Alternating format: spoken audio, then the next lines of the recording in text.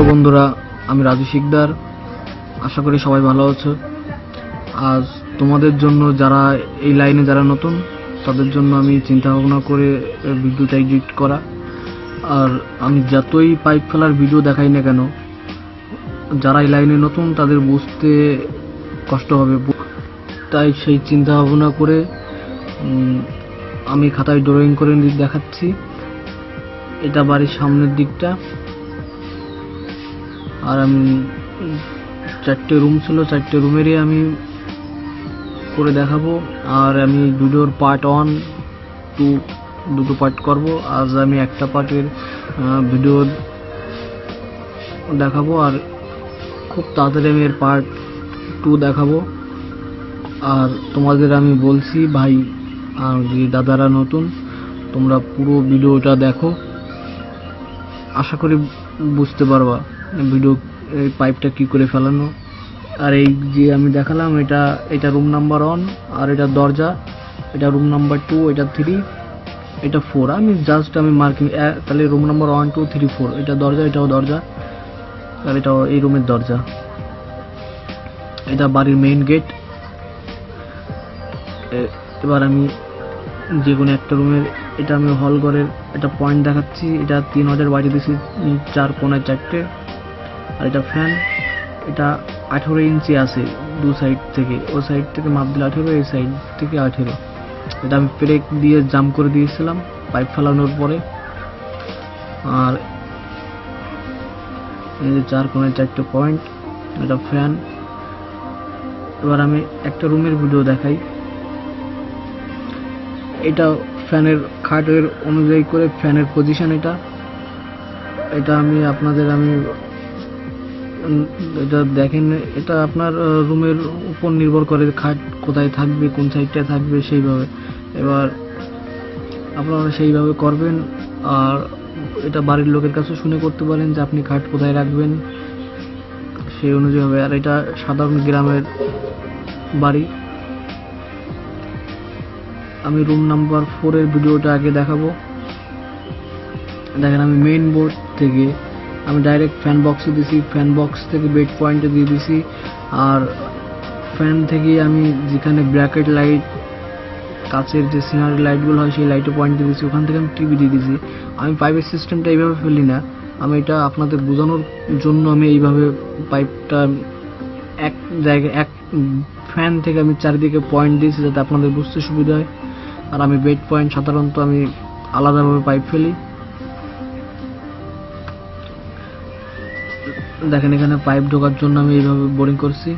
এটা ফ্যানের main board করলাম, এটা টিভি বোর্ডে চলে আসলাম টিভি প্লাস টিউব লাইট উপরে যে রড লাইটটা হয়। এবার ওদেরকে আমি সেই ব্র্যাকেট যে কাছের যে সিনারি লাইটগুলো হয়, আর এদিকে আমার খাটের অনুযায়ী করে আমার বেড পয়েন্টের পয়েন্ট ফেলানো হচ্ছে ওদিকে। আর এটা কভার ব্লক আপনাদের দিকে হয়তো নানান ধরনের, নানান জায়গায় নাম হতে পারে।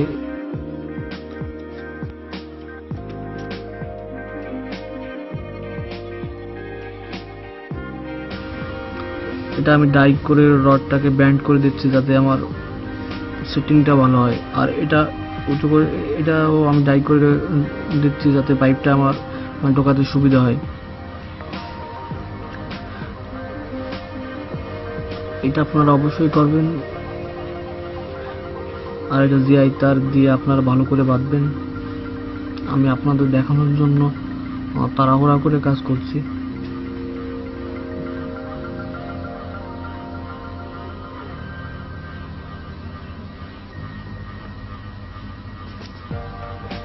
আর এটা আমি কিছু সময়ের জন্য, পাইপটা ঢোকানোর সময় পর্যন্ত আমি দিয়ে রেখেছি যাতে আমার পাইপটা নিতে সুবিধা হয়।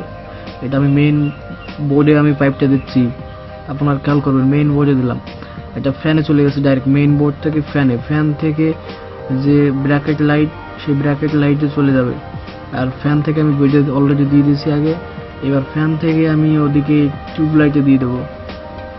আর আমি এখানে সাধারণত বেড পয়েন্টের পাইপটা আলাদা সিঙ্গেলভাবে দিই।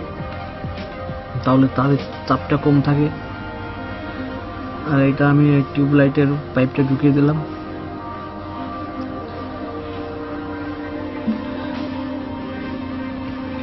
আর ব্ল্যাক টেপটা আপনারা দেখেন এইভাবে, আপনারা যেভাবে সুবিধা হয়, কিন্তু আপনাদের মনের মতো করেই দেবেন। কিন্তু যাতে সিমেন্টের জলটা না যায়, সেই, সেইভাবে দেবেন ব্ল্যাক টেপটা, যাতে লিক না থাকে কোথাও। আর আজ ভিডিও এই পর্যন্তই। এর পরের পার্ট আমি খুবই তাড়াতাড়ি আমি দেবো, কয়েকদিনের মধ্যেই আমি আপডেট করে দেবো পার্ট টু আর আমি পুরো মেইন লাইন সারা পুরো ছাদের ঢালাই পর্যন্ত দেখাবো ভিডিওতে। আর যারা আমার চ্যানেলে নতুন দেখেন এই জায়গাটায় ওই রডটা তোলা নেই বলে ডাই ইউজ করা নেই বলে পাইপটা ঢোকানো যাচ্ছিল না। আমি রডটা তুলে দেওয়ার সঙ্গে সঙ্গে পাইপটা চলে গেল ভিতর। তোমাদের জন্যই এই কষ্ট করা। যদি ভালো লাগে, চ্যানেলটি সাবস্ক্রাইব করে রেখো। আর নেক্সট ভিডিওতে দেখা হচ্ছে। আর তোমাদের যদি অন্য কোনো ধরনের ভিডিও লাগে, তাও কমেন্ট করে জানিও। আর এই পর্যন্তই বাই বাই আর এই ড্রয়িং করে করেই আমি দেখাবো। ভালো থেকো বাই